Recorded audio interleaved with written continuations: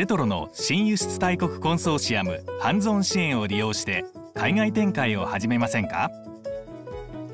ジェトロのハンズオン支援では海外展開を目指す中小企業向けに海外のビジネス経験豊富なパートナーと呼ばれる専門家が個別に企業に寄り添った支援をしています。企業に寄り添った支援とはどのようなものか見てみましょう。例えばある商品を海外へ輸出したい場合海外事業計画の作成現地の FS 調査現地での販路開拓輸出開始と進んでいきます。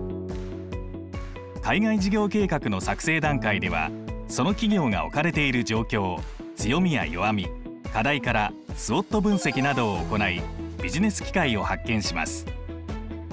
輸出しようとしている国における市場規模はどうか顧客層をどこに設定するのか競合他社はいるのか？現地で必要な認証の取得は大丈夫か？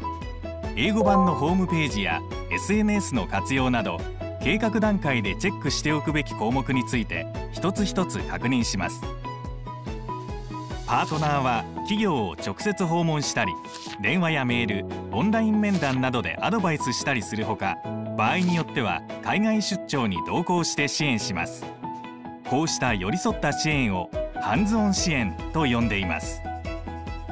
専門家によるハンズオン支援は経済産業省が推進役となって約1100の支援機関によって結成された新輸出大国コンソーシアムという枠組みの中でジェトロが実施している一つの事業です。ジェトロはハンズオン支援において全世界全分野を対象に輸出はもちろん海外拠点の設立もサポートします。海外展開に意欲のある企業の皆様新輸出大国コンソーシアムハンズオン支援にチャレンジしてみませんか？皆様からのお申し込みをお待ちしています。